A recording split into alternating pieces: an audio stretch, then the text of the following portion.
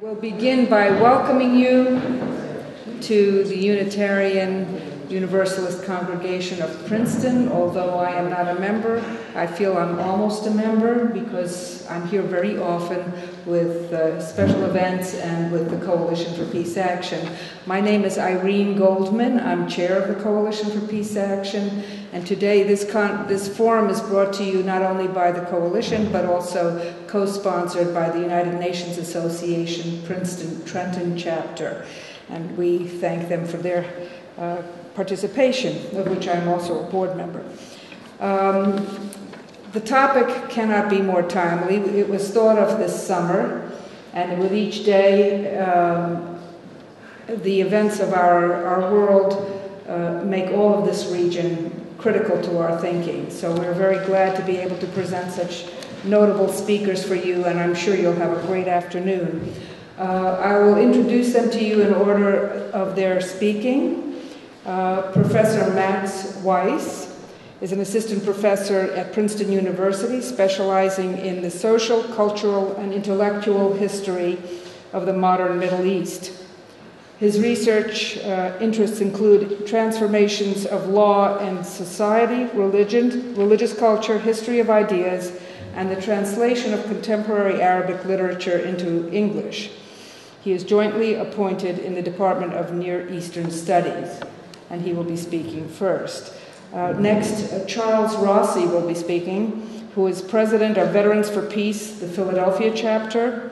He was a member of the United States Air Force from 1966 to 1970, serving primarily in Europe, and brings to us a special perspective from the services and from the American participation. Professor Wolfgang Danspeckgruber who is the founding director of the Liechtenstein Institute on Self Determination at Princeton University and has been teaching on issues of state, security, self determination, diplomacy, and crisis diplomacy at Princeton's Woodrow Wilson School of Public and International Affairs and the Department of Politics since 1988. Uh, without further ado, um, I will ask the speakers to rise, and there will be, uh, after they have spoken, that we will be receiving your questions on little cards that will be given to me, and, and we'll have a Q&A at the end of the talk. So, Professor Weiss, thank you, and please do come forward. Thank you. Thanks.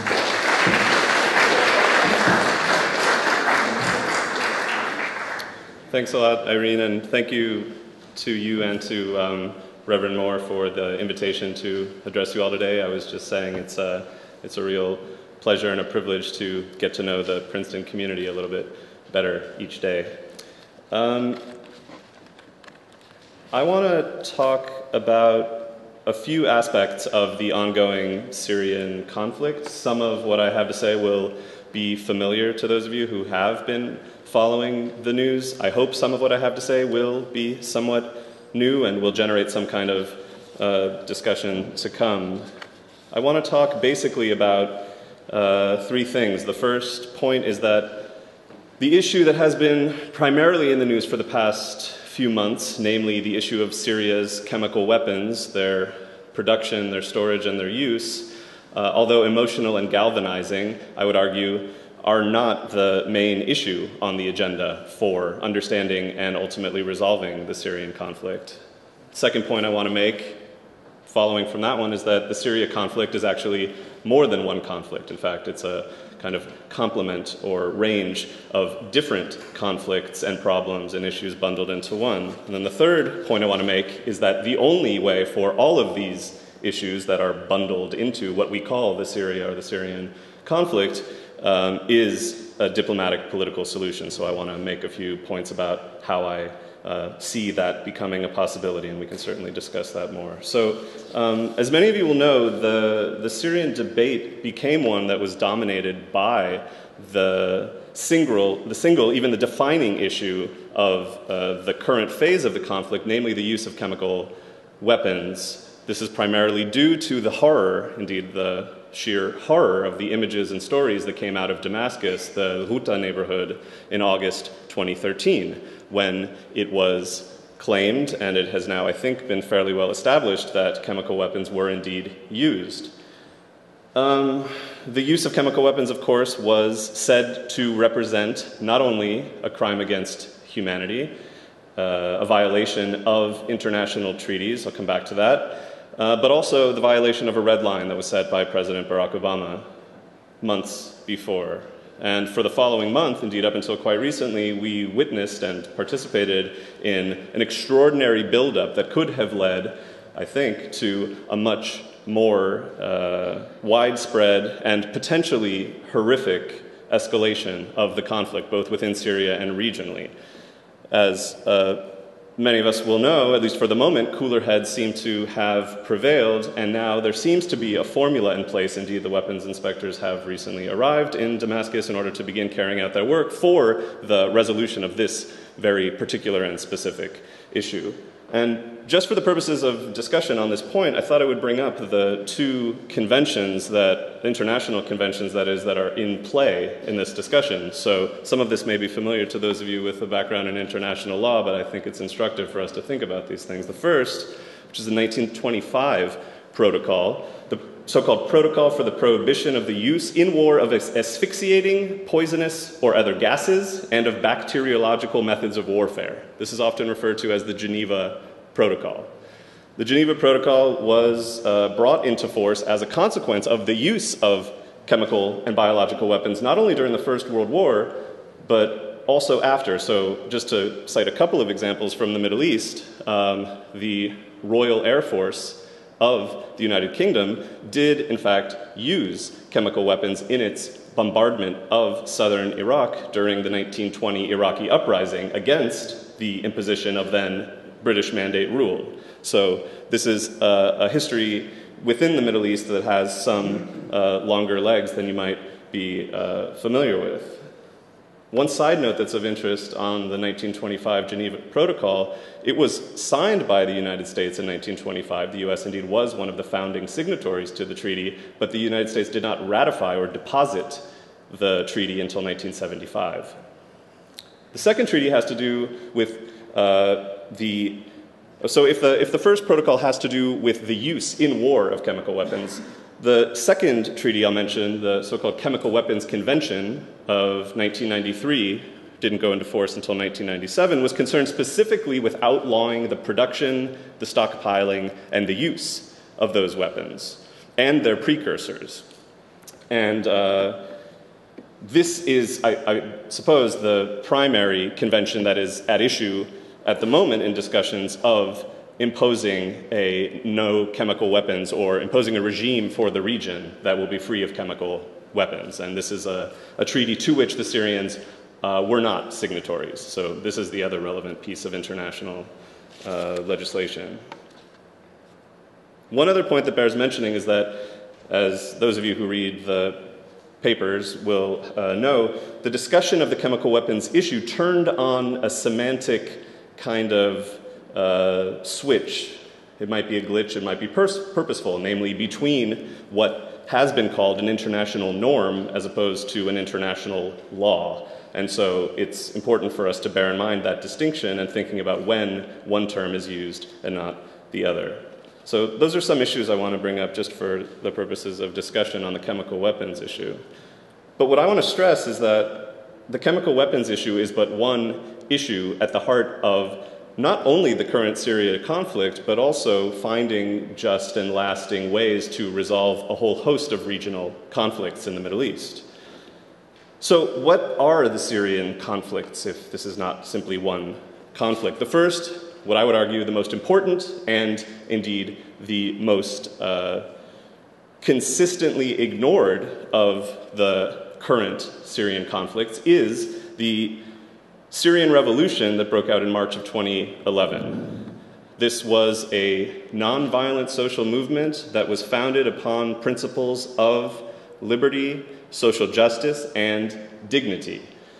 The key word of dignity is a hallmark of the Arab uprising since 2011, and it's uh, one that has been quite profound in shaping the nature of the Syrian uprising in its peaceful, nonviolent grassroots incarnations. Indeed, going back even to February of 2011, when uh, local demonstrations in Damascus that had absolutely nothing to do with combating the repressive capacity of the Syrian regime, but was simply a demonstration against, an outcry against local corruption, was characterized by a slogan that went, Shab Suri Mabindal, the Syrian people will not be humiliated.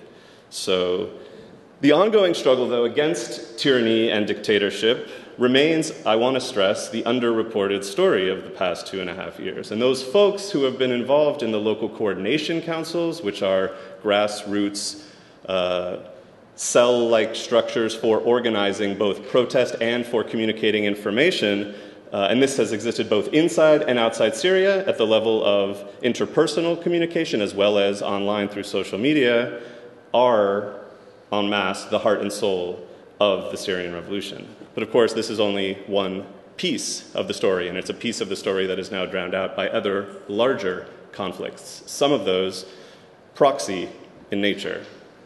So, a second axis that I would point out has to do with the regional dynamic by which regional players in the Middle East have been jockeying for power and influence. And of course, the most important of those are Saudi Arabia, a number of Gulf states, specifically Qatar, slightly less so Kuwait, as well as Israel, in terms of promoting a certain kind of vision for the region, one that is not yet quite an articulated axis, but one that seeks to push back, at the very least, against Iranian influence in the region. So if uh, it is true, as some have argued, that there is something like a new Arab Cold War. That Cold War runs between Iran and its supporters and supported on the one side, and those who seek to push back against Iranian influence. And I've just named a few of those. A third major axis that is worth mentioning has to do also with Iran, but is specifically concerning the relationship or lack thereof between the United States and Iran. So we've seen a tremendous step forward in recent weeks in terms of the potential thawing of this chilled relationship between the United States and Iran. But as I will say uh, in a moment, um, if there is going to be any kind of peaceful and diplomatic resolution of the Syria conflict and other regional conflicts, which are certainly uh, worth talking about at the same time, this turns on bringing in all of the regional players, including those that I just mentioned in the Gulf uh, and Israel as well as the Iranians, not only giving them a seat at the table for any discussion of the resolution of the Syria conflict, but also finding a way to pursue the uh, talks on Iran's nuclear program, eliminating sanctions on the country, and so forth and so on. A fourth major axis, which has developed almost in a way that uh, was surprising for um, many of us who lived through the end of the Cold War is the renewed US Russian strategic rivalry that is embedded in the Syrian conflict. I know Wolfgang will have something more intelligent to say about this than I can, but I simply want to emphasize that um, beyond the specifically regional uh, issue that I mentioned in terms of Iran and its opponents, at an even broader level than the US Iranian uh, struggle, if it is one, uh, we also now have to deal with the issue of US uh, Russian diplomatic and even more significantly political, if not worse, wrangling that's going on. And the fifth issue, which I bring up last, because I actually think that it is overemphasized in the media and general discussions of the Syrian conflict, has to do with the issue of sectarianism. So typically, the way that sectarianism is talked about in the media is a kind of reduced binary struggle between Sunnis and Shiites. This is a 1400 year old struggle, we're told, for supremacy and dominance in the Islamic world. Well, I would make a very different argument about what sectarian, sectarianism is, has been, and might become. Indeed, in places like Lebanon and Syria, sectarianism, by, its, by the very nature of its social diversity, cannot be reduced to a split between Sunnis and Shiites. Indeed, the multi ethnic, multilinguistic, multicultural, multi sectarian nature of Syrian society requires us to look beyond the Sunni Shiite schism. We can talk more about why I think this is uh, overemphasized in, in the media, but, uh, and I have a, a variety of answers to it, but I would like to just state as a thesis for discussion that uh, the sectarian struggle, as it's often depicted, is the fifth in my reading of the multiple conflicts at the core of the ongoing Syria crisis. So, if there uh, are multiple conflicts going on, this is going to take a lot of attention and energy, diplomatic and political, in order to resolve. And uh, to be sure, by this point, the fighting on the ground and the spillover effects in the region are so dramatic that it's almost impossible to imagine that there will not be continued military implications of this conflict. So, when I make the argument that a diplomatic and a political solution are the only solutions, I am by no means making a naive argument that there is not an ongoing military struggle on the ground at the moment. So, what is to be done? Um, that's beyond my pay grade, as I say again and again whenever I talk about this. But I do believe that now is always the time for more robust diplomatic action. It's never a bad time to pursue diplomacy in the service of peaceful resolution for a conflict like this. What would that even mean, though? So, um, I suppose the policy prescriptions that I would like to get behind would include uh, finding a way to use the threat of force, as it has apparently so far been used fairly successfully, to ensure a ceasefire, if only regionally and locally in certain parts of the country. Start where we can and work outwards from there. I would like to see an arms embargo put into place, not only for the country, but for the region more broadly. Pipe dreams, laugh away. Um, I, I think, though, more importantly, these kind of low level call them confidence building measures, must be taken in the service of promoting a political process. And obviously, this political process is one that cannot be done without the will, the resources, and the power of the strongest regional and international players. So, coming back to the point that I made before, the only hope for a negotiated transition that will lead to a political outcome, one that will lead to a transition from the current regime as balkanized as the country is, towards a different regime that is more representative of the will of the Syrian people, is going to require both the wisdom and the creativity of the diplomatic corps of all regional and international players, but also include representative, representatives from all of the regional and international players. Wolfgang can tell me why this is a, a highly unlikely prospect, or tell me exactly how to make it happen. So, um, I don't want to carry on too long, but um, I would just conclude by saying that um, there are plenty of reasons to be pessimistic. There are plenty of reasons to despair given the absolutely horrific state of affairs inside the country, with over 100,000 people now reported dead, with a refugee crisis that is ballooning out of control in the region, upwards of 3 million people now on the move or trying to get settled into very uncomfortable circumstances in neighboring countries uh, without an attention to the real mechanisms by which a political, a diplomatic, and a humanitarian solution can be brought to Syria and its neighbors, um, the Middle East does look like a, a very bleak place. Thanks.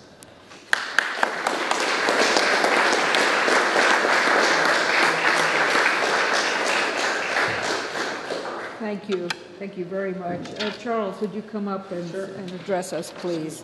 And don't forget that you have cards in your packet in case you would like to ask a question.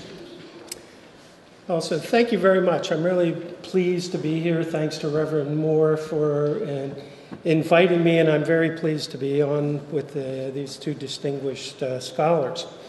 Uh, I would like to talk very much. It was interesting hearing uh, Professor Weiss talk. Is about the, the pessimism uh, throughout the situation there. I would like to talk about a very pessimistic view of the United States military operations throughout not just the time in, in Syria, but over a long period of history. And the, I personally, the group I am, uh, uh, that I work with, are very, very much opposed to any American military operations within Syria. That includes the ones that are now going on and have been going on for a long time. But uh, first, if I may, I'd like to talk a little bit about the military resistance to American militarism by talking about the Veterans for Peace. That's, that's my credential when I'm here. I'm the president of the Philadelphia area, Veterans for Peace. So, and I don't think that resonates very much with many people. What is the Veterans for Peace? Other than that, it's a pretty neat name. Whoever came up with the name, I think that's the genius of the group. But it, it's, it's a, an organization of U.S. military veterans who are committed to peaceful resolutions of conflicts. Fairly simple. Through education, policy goals, and witness. We spend a lot of time on street corners with signs and going to people's offices and so on and so forth. To try to increase the public's awareness of the costs of war. That's both the, the uh, financial cost, the cultural cost, the social cost, and especially the human cost of war. The people that I work with in Veterans for Peace know about it. Many of them bear the wounds of war. So that we have uh, chapters around the country. There are like 120 uh, in most states of the United States, also one in England and Ireland, and one in most recently in Vietnam, which is uh, it's very interesting. There are a lot of veterans of the war in Vietnam who have gone back to live in Vietnam, either part time or full time. Many of them because they were soldiers once and young, and it's a nostalgic trip to go back. Many because from, uh, from a sense of repairing the world. They're working with uh, to get rid of Agent Orange. There are parts of Vietnam that are absolutely drenched in Agent Orange, and we're doing work of reclamation of Agent Orange projects. Some have gone back to Vietnam to do penance, quite frankly, uh, for what was done there. The organization was started in 1985, which is a very significant time. It was done in response to and in protest of the American military intervention into the nasty wars in Central and South America. And uh, the, there were veterans who were primarily members of Vietnam Veterans Against the War who decided enough time had passed, it was time to be for something rather than just simply against something, and it became Veterans for Peace. But 1985 was an important year. It was five years after the promulgation of the Carter Doctrine, which is still to some extent a warrant for, the, for American intervention in, in North Africa, the Middle East, and South Central Asia. It was also uh, the beginning of, uh, although I didn't, don't think anyone was aware of it at the time, it was the beginning of what the Pentagon now calls the Long War, um, what some people call the Forever War. Um, and what we, after September 11th, 2001, started calling ridiculously the, go- the global war on terror. But it was also a time, a significant time, of an amazing increase in militarism in American political life, coupled with a equally strong decrease in awareness of military activities in the American social life. It's, uh, I remember when I was a kid, everybody knew somebody who was in the military. You, every house had a picture of a handsome young guy in a, in a uniform. Now, it's my guess that most of us here are members of the 99%. And that's not the economic 99%, but the 99% of people in this country who aren't in the military, who have no immediate family member in the military, and also who probably know nobody in the military. We've really farmed out, we've subcontracted the defense of the country. And I think rather than, in a way, as it was in earlier generations, that the military was considered part of the defense of the country, the state, and the population. The volunteer military at the moment is, in my view at least, considered an a policy arm of Washington. And most people in the country have almost no contact with it. It's a sad occurrence, but it's true. Uh, Veterans for Peace also has a permanent non government organization in the UN. We have uh, uh, projects around the world. One of the things we do that I'm particularly proud of because we in Philadelphia have been involved is the uh, Iraq Water Project. We, we by water systems, uh, purification and filtration systems for areas of Iraq that, that more than 10 years after we destroyed them still have no reliable water systems. That's where we stand. This is veterans protesting military operations. Um, now I'd like to get into a little bit of uh, one of the real surprises I've seen in the past, certainly in the past month, it's just staggering uh, to my view, is the amount of material on Syria that's, that's available. It, it's, it's staggering. The Belfer Center at Harvard has a, a, a web page that, that has hundreds and hundreds of documents available. Uh, the project on defense alternatives has a website that has even more of them. It just goes on forever. It can be staggering and a little bit daunting, actually, for someone who's just trying to understand what in the world is going on. And I think it's, I see that as particularly important because when you consider one month ago, the president asked 535 members of the United States Congress to vote whether we should, we should wage war against a country. My guess, most, many of them, probably most of that 535, couldn't find Syria on the map. And even fewer of them probably could name two, two cities in Syria. So to me, I, I think it's, a, it's extremely important, and that's why I think forums like this are also important, that, that we've, we've got to know what it is we're voting for. We as citizens have to be able to respond to our, to our government. Um, it's interesting too. You know the, the websites like Joshua Landis. If you, he has a uh, I forget what it's called Syria, Syria, Syria comments. Yeah, and his hits have gone through the ceiling. He's all over the TV and so on.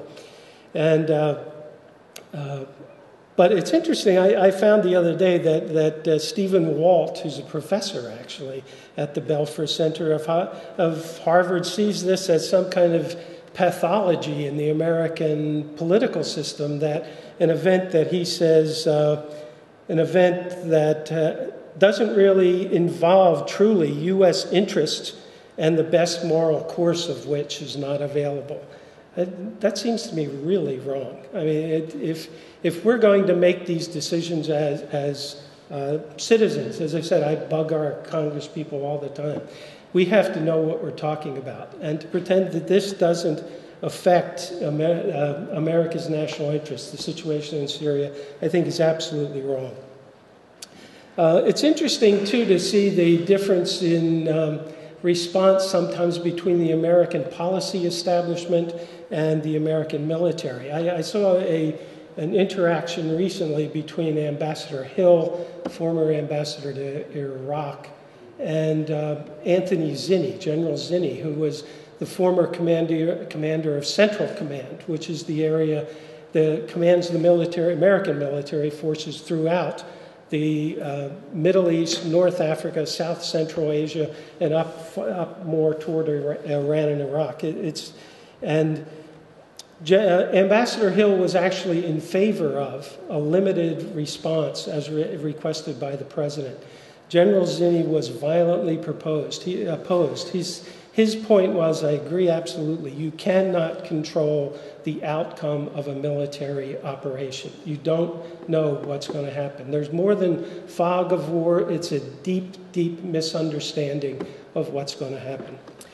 Now, uh, I don't want to go on too long, but uh, one of my contentions that I'd like to bring up very quickly is the incoherence of American military response in Syria, but also uh, previously in Iraq and tracing that back for a very long time. And with someone from my background, my uh, generation, and my understanding, that means Vietnam. And there was a very interesting article in the Atlantic Monthly in April. Um, that's April 1968. And it was called How Could Vietnam Happen? An Autopsy by James Thomson who was uh, in the State Department in the Kennedy administration and the Johnson administration. He, it's a marvelous article for how uh, governments stumble into war and, uh, into large military operations. Uh, some of the things he pointed out was a, a monolithic view of communism. Think about Iraq while I'm saying this. There was also a domino theory. If you think a kind of opposite domino theory in the Middle East, where the Bush administration seemed to think that you go democracy, democracy, democracy, you get rid of, you lop off the heads of these uh, regimes, and all of a sudden democracy flourishes. They seem to think that democracy is the default position of collective arrangements. And if you get rid of, it's limited only by dictatorship. So you get rid of the dictator, democracy rules. Uh, there was also a lack of, of, complete lack of understanding of the historical situation they were facing. Again, th- think of Iraq here. Uh, uh, Thomson mentions that the American people, the American policymakers who went to Vietnam during that time, tended to hang around in cafes with French speaking um, aristocrats in, in Vietnam. These are not the people who were fueling the revolution. In Iraq, the American policymakers tended to hang around with uh, English speaking uh, Iraqi exiles. And you get a very different view of the situation you're, you're in. Um, also, there was a, he talks about the rise within the government of a group of ideologues who want to test their policy. Think of the neocons at the same time. So we're, we're talking about a almost, definitely a 40 year difference here. But this is a, a way of thinking, a way of, of understanding that's going through our government decision making all this time. Um, it's interesting, at the end of the Vietnam War, the neoconservative scholar Samuel Huntington was giving uh, uh, a lecture to policymakers, and his point was best for policymakers simply to blot out of their mind any, any recollection of this one. This one it was the Vietnam War. So Vietnam, you know, sui generis, old news, don't worry about it. It's interesting, there's a wonderful uh, quotation from a, a, lovely short novel by William Faulkner called The Hamlet. And uh, it's part of a trilogy of this uh, bizarre family, the Snopes family. But anyway, you have to remember that behind Faulkner all the time is the Civil War. So the quote from this is Only thank God that men have done learned how to forget quick what they ain't brave enough to try to cure. Now that's Samuel Huntington with, with uh, not as good English. It's really a sad fact of this. Um, one of the things I'd, li- I'd like to talk about, is, and, and this I, I, really would like to get some direction on whether this, this is right or wrong. But in my view, how, do, how does the Syrian government at this time see the situation that they are now in? And in 2003, when George Bush launched his freedom agenda to bring democracy to the Middle East, to remake the, the, the countries there, there were three at least secular, reasonably functional um, countries Iraq, Libya, and Syria. Now, they weren't Sweden and they weren't Switzerland, but they were functional. They had uh, uh, central banks, central national banks. They had a central medical system that was particularly effective. They had very good education, high levels of education. So, where do we stand 10 years after that? Iraq is a maybe a Shia theocracy, some have said, I don't know. Uh, but it is in a state of constant civil war. Libya is right now a name on a map. There, it, it's in a state of, from what I've read, constant anarchy. And Syria stands ready to fall. My guess is that Bashar al Assad sees himself as not just trying to save his measly hide, which he's also trying to do, but also trying to save the Syrian state. And if he if the government, that's his view. I'm not saying I, I, accept that, but that is his view. If, if the Syrian state falls, Syria uh, disintegrates. Um, I had some other things I want to bring up, but I think I'm running against my, my time limit here. So it was a pleasure talking with you, and I look forward to any questions you might have.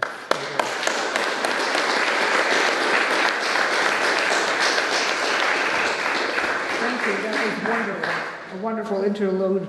And I invite uh, Professor Danspeckgruber, who has also provided us some maps that he'll refer to, uh, to come and address you.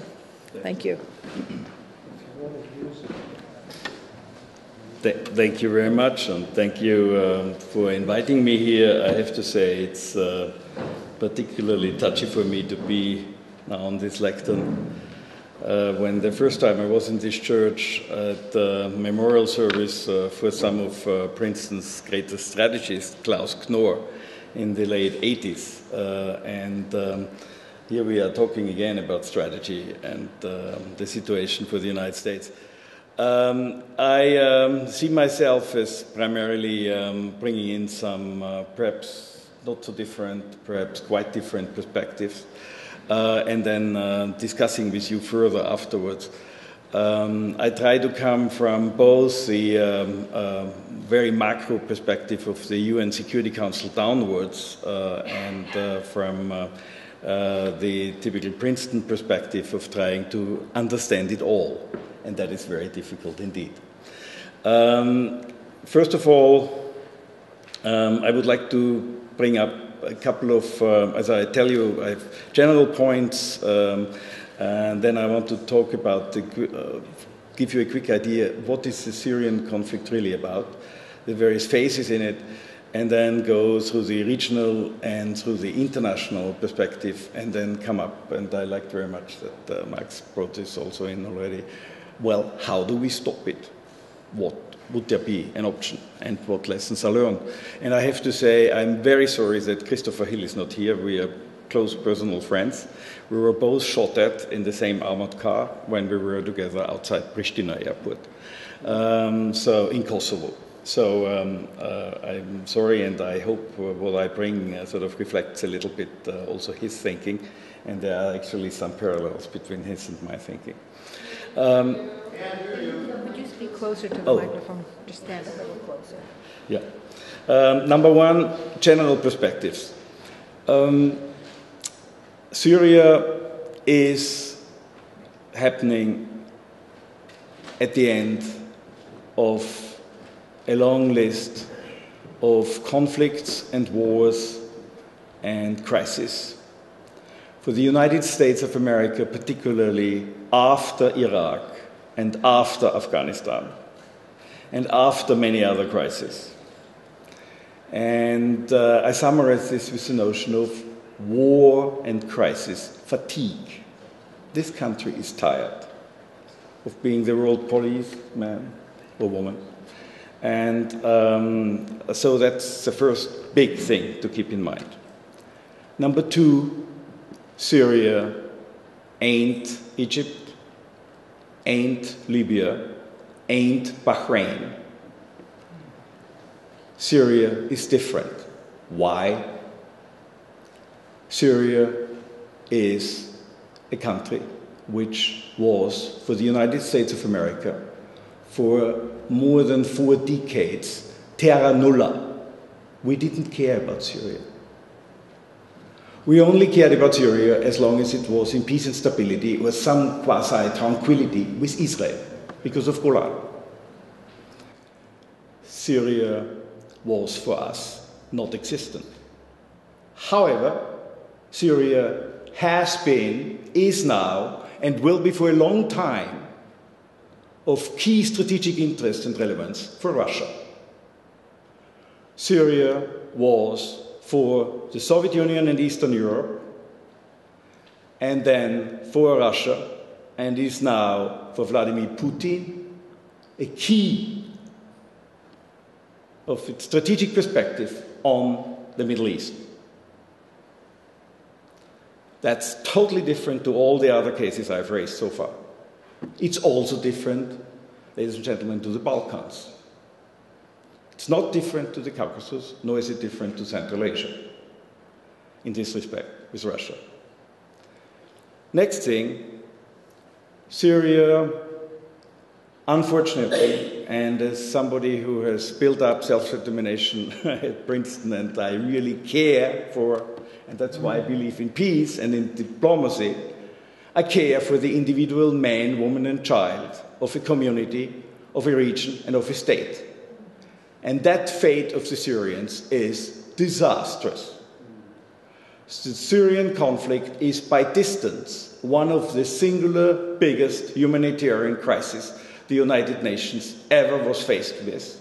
We have nearly 40 to 50 percent of roughly 25 million, however you count it, being thrown out of houses, being individual, um, um, internally displaced uh, refugees, or being carrément refugees in the region. And that's why I put up here a regional map rather than the Syrian map. And as uh, Professor Weiss rightly said, the impact of Syria, the Syrian crisis, Syrian conflict on the region is for me an issue of generations already. I thought of something while you talked, sir, and I think I'm one of the few here who served myself two and a half years in military and actually was on the Golan for a step visit with the Austrian military, the UN peacekeeping. Perhaps we should begin thinking of smart peace, not just smart power or soft power, but smart peace. And as somebody who comes from old Vienna, for me the words peace in our time have an ominous ringing. And as anybody, I'm married to an MD, anybody who deals with medicine knows something about system theory. And if you have cancer and you just think it goes away, you will have a bad surprise. But if you have a pathology, you better deal with it. And Syria is one big pathology in the Middle East and beyond. And that's the next, that's the real issue why I'm so sorry about the Syrians. The Syrian movement, which really began as a um, movement for human dignity, was unfortunately after there were serious developments in Libya and the great powers amongst the P5, nuclear P5 in the UN Security Council, especially Russia and China, felt that they were taken diplomatically to the cleaners in the Libya conflict and with United Nations Security Council Resolution 1972 and following. Because we said protection of civilians, and it turned out to be regime change. And if Moscow or Beijing does not want one thing, it's regime change. So these are a couple of general notions. The other general notion is the brutality, and this is my fourth major conflict in which I've been now in, the last 30 years. The brutality of the Syrian crisis and civil war like conflict against women and children is unheard of. I am not aware of this in Afghanistan, and I've been for 10 years in Afghanistan. I have not seen anything comparable ever in the Balkans. Never. And in Kosovo, if you remember, we were close to launch ground forces. I also believe that some of the lessons which we had in the Balkans and in Afghanistan and in the uh, uh, outskirts of the southern Caucasus should draw some ideas of how to stop the war. We have now at least, I would say, 130,000 dead. We have dozens of thousands of people who vanished, where there are no records. We have roughly, if you are honest, and don't only count UNHCR numbers, at least three to three and a half million outside Syria, at the very least, in sometimes absolutely ominous situations and horrible refugee camps. And we have more than four million within Syria as internally um, uh, displaced persons. And Syria is a country where there is snow and winter and refugees are known to have no stable refuge. And we have winter coming. And there is countless places with no supply of water, electricity, medication, or food. So there is a huge humanitarian crisis looming, and the real problem is that domestically in Syria, we are powerless or on the mercy of the regime or those who control the roads, which is many times the regimes, because the uh, uh, huge agglomerations, especially in the urban areas, are under regime control. Um, so those who would need don't get the um, uh, supply. So the brutality, the human cost, and the tragedy is critical. Is it relevant? Some people may say we forget soon. Well, I do believe in the notion of traumatization of the young ones. Should I remind us on the Intifada? Should I remind us on the open accounts? Should I remind us on the notion of revanchism in history? Because accounts are deemed to be open by the young ones who saw their families suffering. And as I said before, since this is a conflict where it goes particularly on the young ones and women and children, I do believe that the ramifications of this are going to be very considerable. There's another problem, and that's why I put this regional map. Syria is surrounded by several states. Turkey is a big one. Iraq is equally a big one. Israel, we all know, is a special case. But what about Lebanon and what about Jordan? Lebanon has itself around 4 million inhabitants. How many Syrians do you think are right now in Lebanon? Above 2 million. Iraq has around, oh, um, uh, Jordan has around 6 million. How many Syrians do you think are there right now? Roughly same amount. The problem in Lebanon is that you had already for many years Syrian workers and others being there. The problem in, Iraq, in, in, in Jordan particularly is the notion of water. Jordan generally has not enough water because look at its location. Others control the water which goes to Jordan. Jordan now has even less water because it has 2 million, roughly 2 million more. So you get, you add, in order, in addition to the plight of the refugees, you add domestic tensions, big ones, of the host countries. Iraq has partly closed its borders for obvious reasons, and I have here another map which shows you the ethnographic links.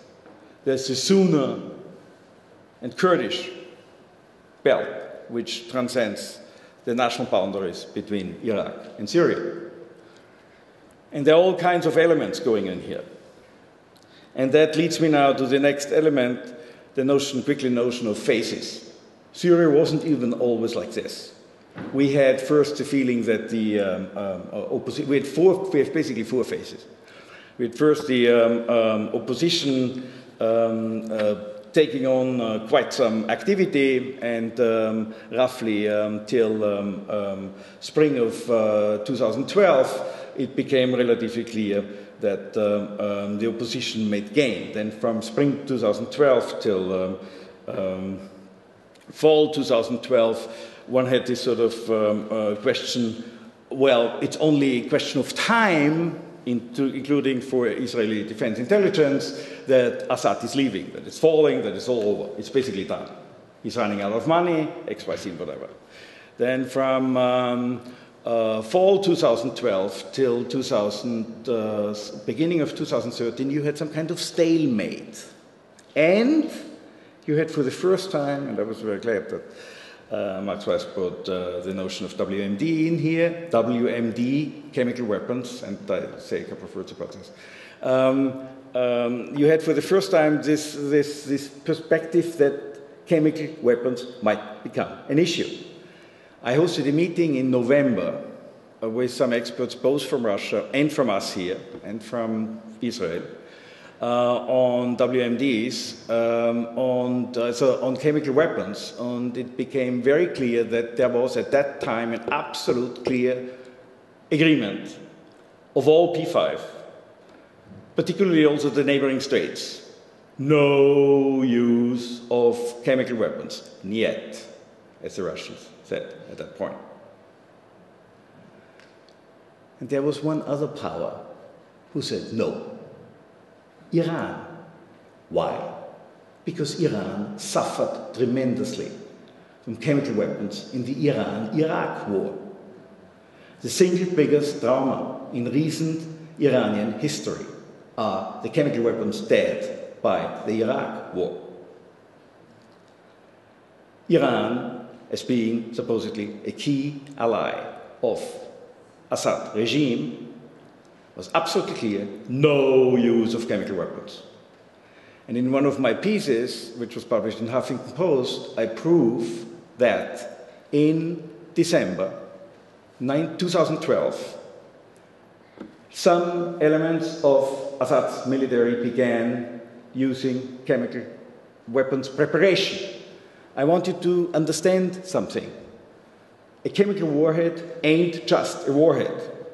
A chemical warhead is hardware plus various elements, various chemical elements. And in order to create a warhead fireable, you first begin mixing individual chemical elements together, which is an unbelievably dangerous and complicated process. And then you mix them together, and you basically have the de facto fireable weapon and fill this into the warhead. And then you have maximum four weeks to use that warhead. If you don't, you have a chemical process within the warhead, depending on whatever you have in there. But for you to create this system, A, with all our human and technical intelligence, we basically realize when something happens. And there are also only a handful of experts who can do that. And nobody wants to get close to armed chemical warheads on top of launching systems. Nobody. You are in full gear when you operate with this. Now, that means three major things.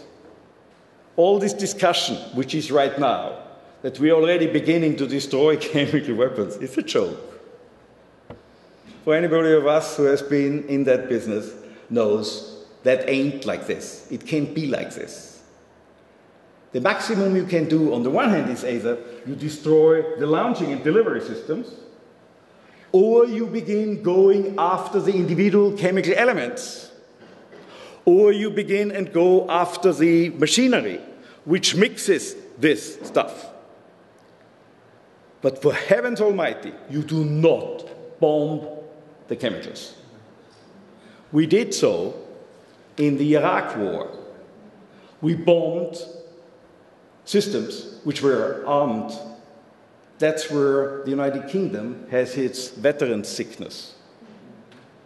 And the fallout of it, there are certain elements, certain regions today which are still unusable, and there are all kinds of reports about this. What you can do is you can dismantle the various elements.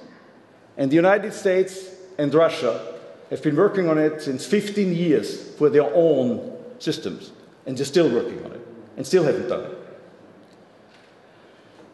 That's also why President Assad came out with this unbelievable figure of a billion dollars, which he would need for doing.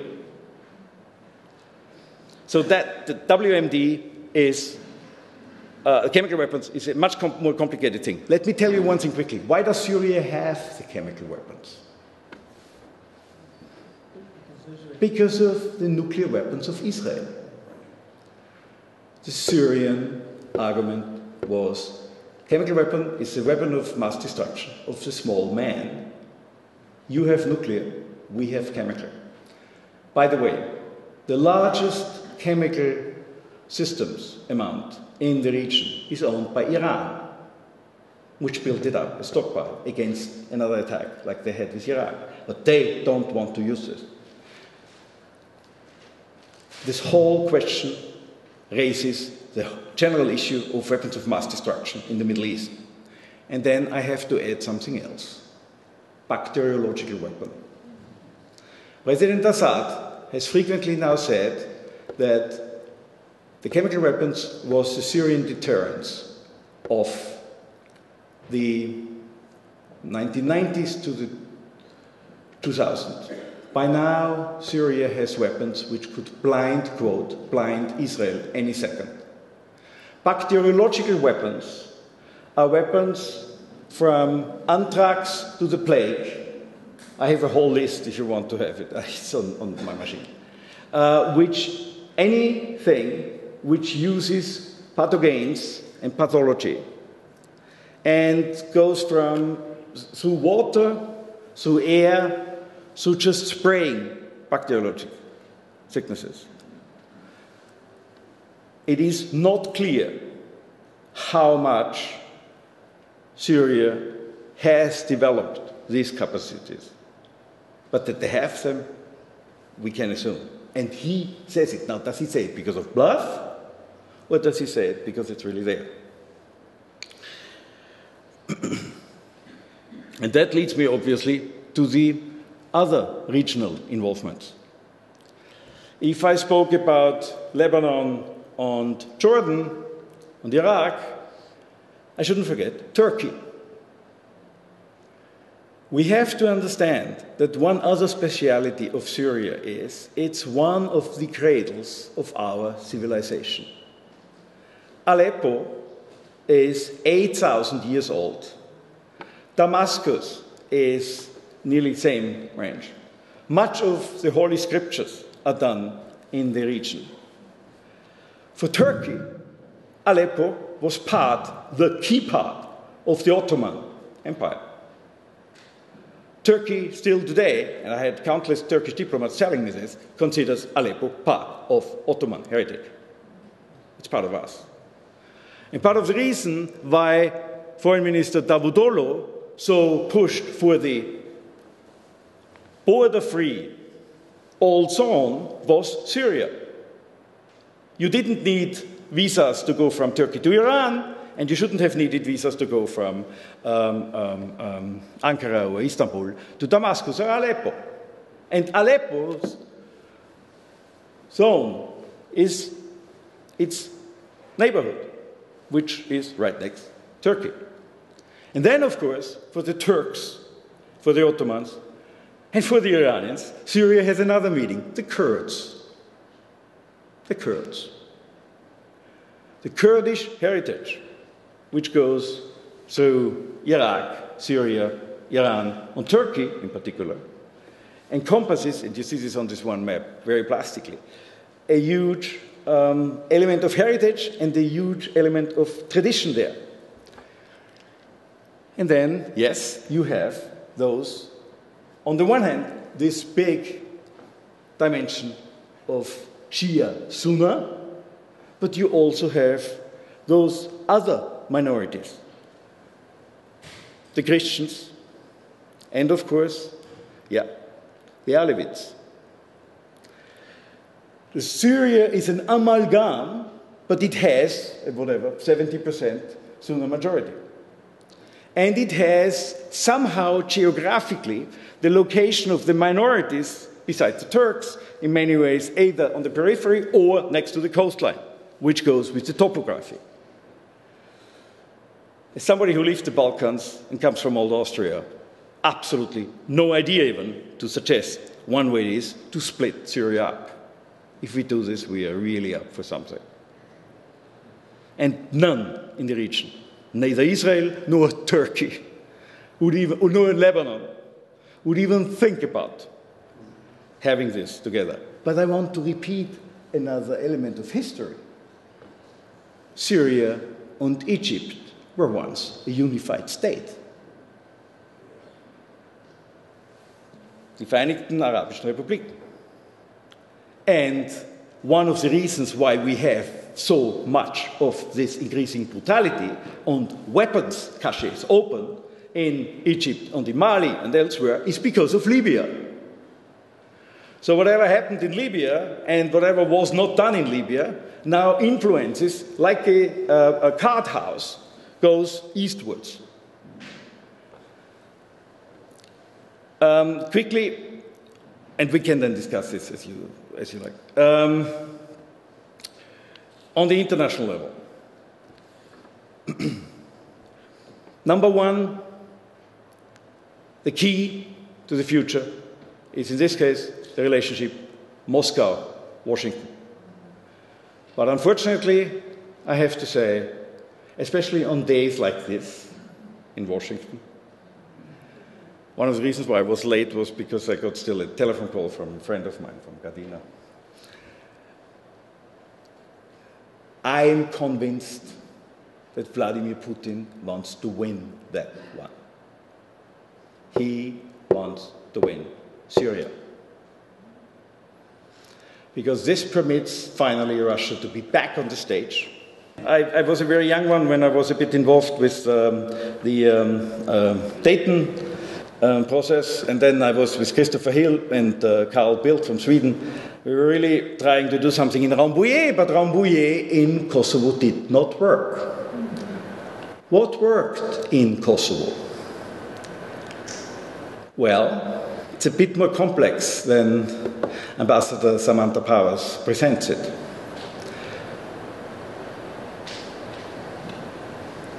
The then Secretary of State of the United States of America, Madeleine Albright, who knew a thing or two about Eastern Europe, simply wanted to stop the Kosovo crisis. And they were really worried, just to give you an idea, Kosovo had what, 1.6 million inhabitants? And uh, they were worried that uh, uh, 600 to 800,000 would be sent out. You remember the, name, the numbers I said before about Syria. And because they felt that neither Bulgaria, nor, nor, nor Greece, nor, nor, nor uh, Romania, nor, nor Albania could take care of this. And we just had before the um, um, um, uh, um, Slovenian and, and, Croatian and Bosnian Herzegovinian issue. So the United States told Slobodan Milosevic, in this case it was still uh, Holbrooke, to stop the fighting. He didn't stop. We began bombing. We began bombing various targets. I can't tell you whole stories about this. I really lived this very deeply involved. Um, and didn't really help. Not much. The fighting didn't really stop. And then in uh, May, Slobodan Milosevic was warned that there might be ground forces coming in to stop the fighting and to stabilize Kosovo. That also didn't do the trick. But that did the trick. Slobodan Milosevic and Mr. Milutinovic, the vice president, plus their respective wives, two wives, received a secret indictment by the International Criminal Tribunal of Yugoslavia.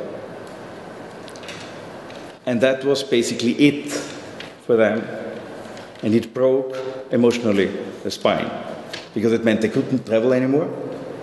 It meant they were considered war criminals and um, so there was a, a mix of hard force and smart diplomacy and power playing it. But there was leadership. There was a clear leadership by the United States of America at that point. Today, what we have to do is convene a meeting, get an agreement. That's all hypothetical now, okay?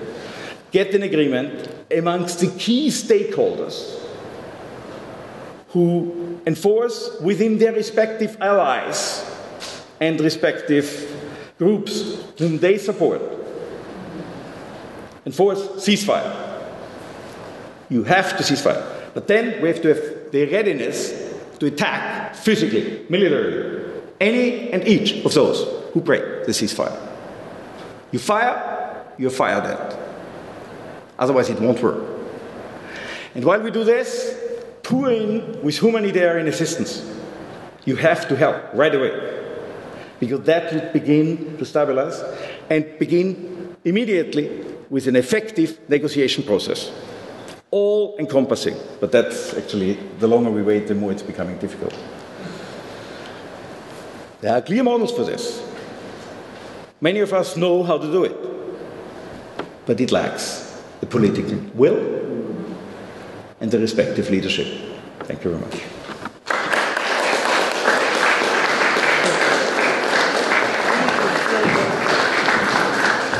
A little food for thought, people.